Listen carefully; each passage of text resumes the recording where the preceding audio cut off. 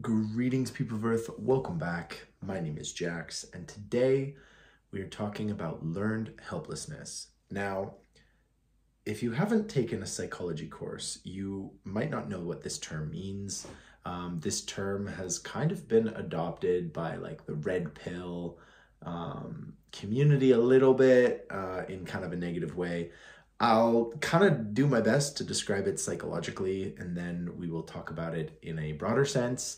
I don't really follow the whole red pill community's view on learned helplessness, but I do have some thoughts. So, if you don't know, learned helplessness, it was developed, this, this concept was developed by two psychologists. They worked on dogs, I think. I can remember from my psychology courses. It's been a while.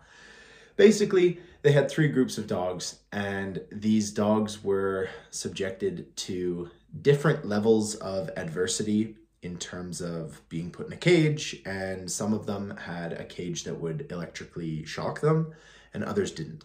And basically, what they realized is that in the face of sort of unsurmountable difficulties, the dog, a, a, specific group of dogs would just give up. You know, they wouldn't try to fight it. They wouldn't try to get out. They wouldn't try to, um, they would just sort of sit up and take it. And they basically decided that this could be applied to humans as well. And that in the face of just insurmountable obstacles or difficulties, um, and, and that could be a very wide, wide range of things, that people would have this learned helplessness um, that they just i can't fight it. I can't fight what what i am my situation. There's no point. I just have to sit up and take it. And this is problematic for human beings in several ways because we are not um, dogs. We are not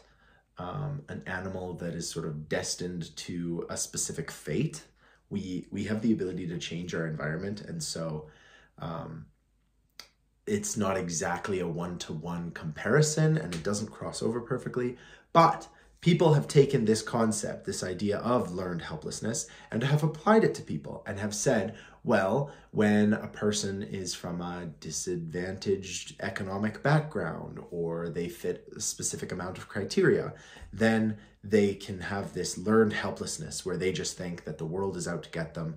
They can't do anything to get out of their situation. And it's it's a pretty disheartening idea, you know? Like it's not a positive theory. It's not a it's not necessarily a good thing. Learned helplessness is not um, appropriate. And um, they've seen this in in child studies where they're looking at children and how they develop and sort of how their brains are wired and um, infants and babies have this learned helplessness then and then they're the, the kind of the thing the baby is counting on is that its parent or that its care provider will come to the rescue and fix the solution. Hence why the baby cries and you know it's alerting everybody to its helpless situation.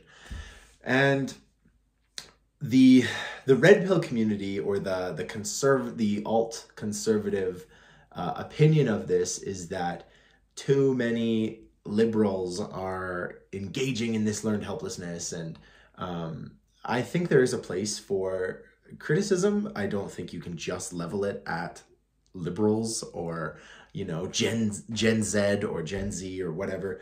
Um, there isn't like a specific group that you can really do this to but i feel like all of us in our lives at some point have sort of dealt with this learned helplessness thing. I've certainly dealt with my own share of problems that I thought just existed, that I just had to sit up and take. You know, there was no changing my situation. Um, as somebody who went through school with like some pretty heavy learning disabilities, I kind of just thought that I would always be, uh, you know, a bit of an imbecile, a bit slow. Um, I take about two or three times longer to process and read information on a book. Um, despite the fact that once I have that information, I have an incredibly good recall and a really good memory. Um, it takes me a long time to process this information and to get it into my head and then to, you know, extrapolate it. But once I have it, I'm able to convey it and I have this ability to, you know, do it really well. But I didn't know that. and so I just thought that, oh, I'm just going to be slow for the rest of my life. I'm going to be, you know, inefficient. School has always, always, even from my last university course, school was always so much work. I always felt like I was trying four or five times harder than everyone else just to get, you know, a B or a C or something. And if I had really embraced this idea of learned helplessness, and I think at some point I had embraced it, especially sort of at 14 years old, I just thought there's no helping me. You know, I'm not university bound. Um, it's just the way the world is, and I have to deal with it. I have to somehow just, you know, adapt to my helpless nature. Um, and thankfully, I didn't. I didn't end up doing that in in a main capacity. I worked through it. I worked crazy hard. Uh, I'm incredibly proud that I graduated and I've, you know, convocated and everything. Um, but this idea of learned helplessness can find you in any area of life, whether it be relationships. I hear some of my friends talking about how they're just destined to be alone and they can't help the situation, even though we have so much agency. And that is really what dispels this whole idea of learned helplessness is that we as humans have agency. We have the ability to change our situation. We can move, we can change who we are, we can change what we're doing, we can change who we interact with. And so, whatever problem you might have, whether it be something involving your career or your job, your academic abilities and your sort of headspace, your mental health, spiritual health, um, whatever area of life that you might find yourself feeling helpless, it's not as bleak as it may seem. And the idea of this learned helplessness is that you have kind of you have been shown at every corner oh it's helpless. Like ah oh, i'm helpless. Like i cannot be fixed. It can't be helped. The situation it is what it is. And while while that that phrase it is what it is from a taoist perspective that's great. You know you can't fight the universe. You just got to roll with the punches. You're missing the second part of that. It is what it is is not an excuse to be complacent and just to fall into helplessness. It is what it is, is a method of understanding that the world is going to do what it's going to do, but you also have agency. You also have this ability to change up what's going on and how you interact with it. And I think that's where this kind of political version of learned helplessness has been used. And like I said, typically conservatives look at younger liberal people, younger woke people, whatever you want to call them, and say, oh, look, they have used one of their labels to define themselves and now they just refuse to you know have any personal agency personal responsibility.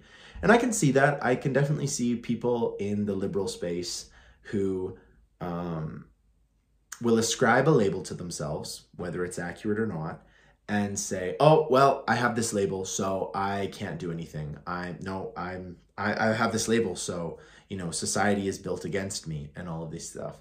And the one thing that you have to say about Western democracy, Western society, for all its faults, for all its difficulties, for all of its systemic problems and prejudices, is that no matter who you are, whatever label you have, there are people out there that represent you that are crushing it, that are doing incredibly well. Um, and so I, I sympathize with the liberal point of view that, you know, there are systemic problems, there are issues in our society that are very difficult to overcome. Um, when I was born, if I wanted to marry a man in 1996, that was not okay. That was not possible in Canada. And so I get the systemic problem uh, issue. I understand it. However, our society is growing, our society is changing. You have agency within your society. And so the idea that you are helpless or that you cannot fight your circumstances is also garbage. Um, and so I think the, the problem that this term learned helplessness gets in society is that it raises a good point and it raises this issue of well, when the system's built and it's built to be rigged against you, how can you do anything? I get that. But the system is also built as a meritocracy. The system is also built to give you agency. The system is also built that if you're able to meet the right people, be the right person, work hard, put in the effort, um, try things unexpected, do things in a different way, um, you can succeed just as great as anyone else. And I think this is actually one of the biggest divides between left and right politically. And you guys know me, I'm not left, I'm not right, I'm somewhere in the middle, just trying to exist in this highly political space. Um, but yeah, this this term learned helplessness is kind of a big reason why people don't get along, and um, maybe it's that liberal people think that the government should do more to even the playing field, and the conservative element thinks that you know you should just it should be on the person and their own agency. Again there's a place for both. There it's not it's not a black and white. It's not 100% one way and 0% the other. It's going to be a 50-50 maybe a 25-75 some way or the other. And i just wanted to take this time to talk about learned helplessness and to really implore you that if you feel as though you are helpless in any situation in your life there is so much agency and ability within yourself to change the situation, to alter it into a better way. You are not a dog trapped in an electrified cage. And I think that's the the best the best way I can say it because this this term and this idea and this psychological uh, concept was created because of you know watching these animals you know not be able to get out of their situation total totally lack of agency and that hopefully doesn't happen a lot of a lot of the time in our world. So the the term can be applied to infants and to situations where yeah, you really don't have an alternative. You really don't have another choice. Except in our society and our world, uh, you have an infinite amount of choices. You have an infinite potentiality. You have this incredible space of which you can grow and develop and change. And if you really don't like the system, there are other systems all across the world in all different spaces. You know, if you're not succeeding in an academic career um, on campus of a university, you can do it online. There are so many avenues to success in alternative routes. Um, you don't have to just work on Wall Street. There is investing in a million different ways. Uh, making friends can happen in a million of different ways. And so that's really what it comes down to is every single person is incredibly unique and your circumstances are very, very specified to who you are, which can be really scary and it can be really frightening to realize like, oh man, this is all on me. But you also have a million billion different options and opportunities and different ways of which you can encounter problems and solve them. So you are not helpless. And as scary as that is, as as terrifying as it is to realize that you're not helpless and that it's on you to, you know, make a change if you want to make a change or to keep going the course that you you're going at, um, it is it is a fact. And while there are people who will go out and hold your hand, and you know there are safety nets, you should probably learn to act as if those safety nets weren't there you should probably learn to face the adversity pragmatically and try and respond to situations as they happen. You know, I think we we spend a lot of time with this anxiety of, oh man, what if this thing happens? It might happen. And you should just hope that when the time comes and that thing that you're dreading happens, you'll be able to handle it with the skill and the ability that you've learned through your entire life. Um, and at the end of the day, if a safety net catches you, awesome. But don't think that it'll come back. Don't think that the safety net will be there the next time. And, you know, live your life on those terms. This idea of helplessness is not it's not a beneficial thing in our society. And that is one thing that I can concretely say in this video rather than just saying, well, it's a little bit of this, a little bit of that helplessness is never the situation you want to be in. It is a situation you will inevitably find yourself in. Um, we all do. We all get old. We all become uh, reliant on other things and other people, and none of us live in a vacuum. But self reliance, that's awesome. Switching it up, doing things differently, finding a different way to succeed, we love that. Every single day, the news is full of people who did things slightly differently and it worked out really, really well, well for them.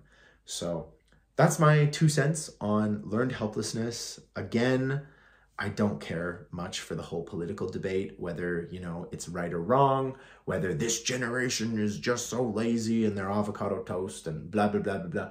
Cool. If that's your perspective, awesome. Um, not all of us think that way. Not all of us engage in that kind of um, activity. Um, but I'm not going to judge you if you do. So let's just try to talk about this constructively. Um, I'm sure there will be people who are sharing their wisdom down below about facing adversity, you know, avoiding helplessness. And as long as we can talk about this with compassion and understanding on both sides, I think it will be a really good conversation because the goal is not to tell the other side how dumb they are and how um, inept and inexperienced they are. The goal is to try and lift everybody up, to realize that nobody has to be helpless and that we can all succeed. It is not a zero sum game. And that is one of the greatest things about this planet and this existence that we get to all share together. Yeah. So I'm going to leave it there. Thank you so much. Leave your comments down below. Be compassionate. You guys always are. Uh, I'm always humbled by how amazing you guys are and constructive, and the conversations are always so thought provoking, and meaningful. Thank you so much. And as always, I will talk to you guys tomorrow.